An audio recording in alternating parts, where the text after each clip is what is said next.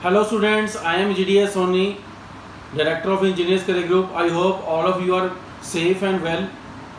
सो इस वीडियो के थ्रू मैं आपको ये इन्फॉर्मेशन जो है वो देना चाहता हूँ कि इंजीनियर्स करियर ग्रुप का ईसीजी e की ऑनलाइन जो क्लासेस हैं वो तो पहले से लंबे समय से चलती आ रही हैं बट इसके साथ ही साथ अभी जो है ऑफलाइन जो क्लासेस हैं जो क्लासरूम कोर्स हैं वो भी स्टार्ट हो चुके हैं सो so, बहुत से स्टूडेंट्स पिछले कुछ दिनों में हमारे को काफ़ी लंबे समय से फ़ोन कर रहे थे कि कब से ऑफलाइन क्लासेज जो हैं क्लासरूम कोर्स कब से स्टार्ट होंगे।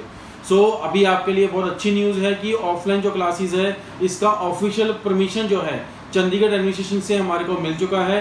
सो so, अभी आप क्लासरूम कोर्स आके भी जो है वो ज्वाइन कर सकते हैं। बहुत से स्टूडेंट्स की ये कंप्लेंट थी कि हमें ऑनलाइन क्लासेस में वैसा क्लासरूम का माहौल नहीं मिलता है, हमें वैसा एटमोसफेयर नहीं मिलता है तो अभी आप क्लासरूम में आके अपना जो आप जो माहौल चाहते हैं, जैसे आप एटमोसफेयर चाहते हैं टीचर से वन टू वन इंटरेक्शन चाहते हैं, वो आप आके आप ऑफलाइन क्लासेस के थ्रू क्लासरूम कोर्स के थ्रू आप जो है वो भी कर सकते हैं। सो so, बहुत से ऐसे स्टूडेंट्स हैं जो अभी भी वेट कर रहे हैं कि नोटिफिकेशन ओपन होंगे तब हम जो जो है उसकी एग्ज़ाम की तैयारी करना शुरू करेंगे। सो so, मैं इस वीडियो के थ्रू आप सबको एक गाइडेंस देना चाहता हूँ। मैं बार बार हर वीडियोस के थ्रू बहुत सारे चैनल्स के थ्रू आपको एक ही बात कहता हूँ कि नोटिफिकेशन की वेट मत करिए। नोटिफिकेशन जो है वो तो आ ही जाना है। आपके आपने देखा ये कोविड का जो टाइम पीरियड है 1.5 इयर्स का ऑलमोस्ट जो टाइम पीरियड है हमने देखा है। तो इस टाइम पीरियड में आप मेरे को बताइए कौन सा एग्ज़ाम जो है वो डिले हुआ है? ईएससी e का एग्ज़ाम भी हुआ है गेट का एग्ज़ाम भी हुआ है एसएससी जेई के एग्ज़ाम भी हुए हैं स्टेट लेवल के जो एग्ज़ाम है हर स्टेट अपने एग्ज़ाम जो कंडक्ट करवा रही है सेंट्रल गवर्नमेंट के सारे एग्ज़ाम हो रहे हैं। सो so, ऐसा नहीं है कि एग्ज़ाम होल्ड होंगे।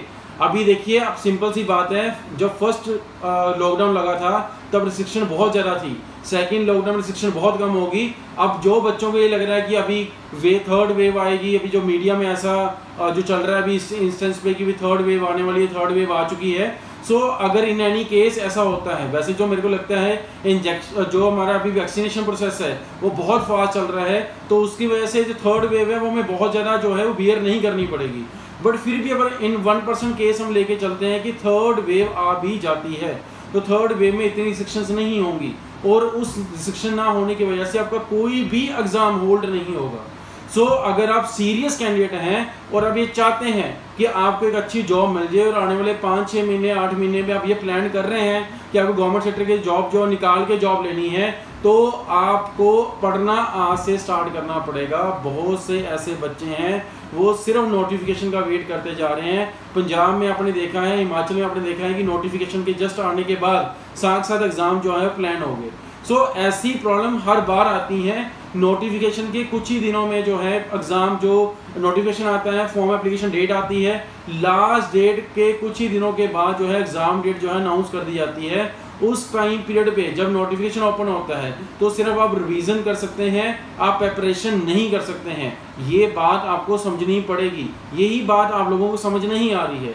आप सिर्फ़ नोटिफिकेशन का वेट करते रहते हैं और प्रेपरेशन तो करते ही नहीं है। तो बिना प्रेपरेशन कोई भी एग्ज़ाम जो है वो क्वालिफाई नहीं होगा।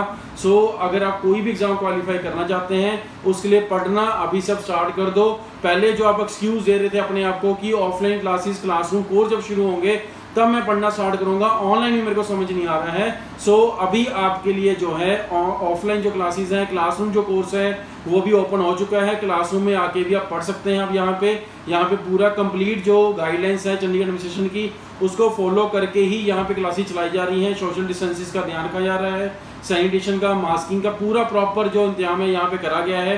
सो so, आप यहाँ पे क्लासरूम में बिल्कुल सेफ़ माहौल में जो है अपनी क्लासेस लगा सकते हैं। और जो भी स्टूडेंट ऑनलाइन करना चाहते हैं online courses as it is चल रहे हैं। ऐसा नहीं है कि क्लासरूम कोर्स बंद हुआ था तो इसलिए ऑनलाइन क्लासेस चलाई जा रही थी। Online course as it continue है। ऑनलाइन कोर्स में स्टूडेंट्स अलग रहते हैं क्लासरूम कोर्स में जो स्टूडेंट्स हैं वो अलग रहते हैं। सो so, आपको ऐसी टेंशन लेने की ज़रूरत नहीं है। अगर in any case third wave आती भी है इन एनी केस दस दिन पंद्रह दिन ऐसा बंद भी होता है तो डे वन में आपकी क्लासेस जो है वो ऑनलाइन चलती रहेंगी। पूरे लॉकडाउन में एक दिन भी हमारी जो क्लासेज ऑफ़ नहीं हुई है और जो सिलेबस है वो ऑनलाइन वे भी कंप्लीट करवाया गया है। सो आप इस बातों को अपने मन में जो वहम है, उनको बाहर निकाल और यहाँ पे आप क्लासरूम कोर्स जो है ज्वाइन कर सकते हैं। ज़्यादा डर लगता है अगर आपको। वैसे तो आप पूरा मॉल और सब जगह घूम ही रहे हैं, ठीक है? वहाँ आपको जो है वो ज़्यादा डर लगता नहीं है बट शायद जब आपको पढ़ने की बात आती है तो अब आपके पास एक बहाना मिल जाता है आपको कि भाई मेरे को तो कोविड हो जाएगा, मैं तो इसलिए नहीं पढ़ना चाहता, इसलिए मैं भी पढ़ना स्टार्ट नहीं करना चाहता। ऑनलाइन मेरे को समझ नहीं आता जैसे मैं कोचिंग इंस्टीट्यूट में, पता नहीं एंटर डोर खोलूँगा और वहीं के वहीं कोविड मेरे को हो जाएगा। तो ऐसा जो मिथ आपने अपने दिमाग में बना रखा है, इस मिथ से बाहर निकलो और अपने करियर के बारे में सोचो। आप लोग सिर्फ़ अपनी लिटरली टाइम वेस्ट कर रहे हैं और ये टाइम को यूटिलाइजेशन में चेंज करो। अगर अपने टाइम को यूटिलाइजेशन फैक्टर बना लोगे तो 100 परसेंट आपके जो आने वाले एग्ज़ाम है पिछले अगले छः महीनों में, उनमें आप क्वालिफाई भी हो जाएँगे। सो so, मेरी इस बात को थोड़ा सा सीरियसली सिंसियरली लो। और अगर आपके मन में कोई भी डाउट है किसी भी तरह का मन में वहम है तो आप मेरे से पर्सनली आके सेक्टर 34 में जो है, हमारा ऑफ़िस है, वहाँ पे आप मिल सकते हैं। और अगर आप कोर्सेज से रिलेटेड ऑनलाइन कोर्स हो, चाहे क्लासरूम कोर्स हो, उनसे रिलेटेड कोई भी आप जानकारी लेना चाहते हैं तो आप हमारे हेल्पलेक्स number nine eight double five seven five triple four two पे जाके जो है, वहाँ पे पूरी की पूरी कोर्सेज की जानकारी ले सकते हैं। नए बैचेज अनाउंस कर दिए गए हैं। अभी आपके बहुत सारे बच्चे जो हैं, अभी ट्वेंटी में पास आउट हो चुके हैं, जो ट्वेंटी में पास आउट हुए थे, वो भी घर पे फ्री बैठे हैं। सो अपना टाइम किल ना करो। बार बार मैं आपको एक ही बात कह रहा हूँ प्रेपरेशन बहुत ज़्यादा ज़रूरी है। जब तक प्रेपरेशन नहीं करोगे, तब तक एक्सपेक्टेशन मत रखें कि आपका पेपर जो है वो क्वालिफाई हो पाएगा। आई होप मेरी बात आपको समझ आएगी और इसके ऊपर आप जो है वर्कआउट करेंगे और अपने करियर को एक नई डायरेक्शन देने के बारे में सोचेंगे। Thank you very much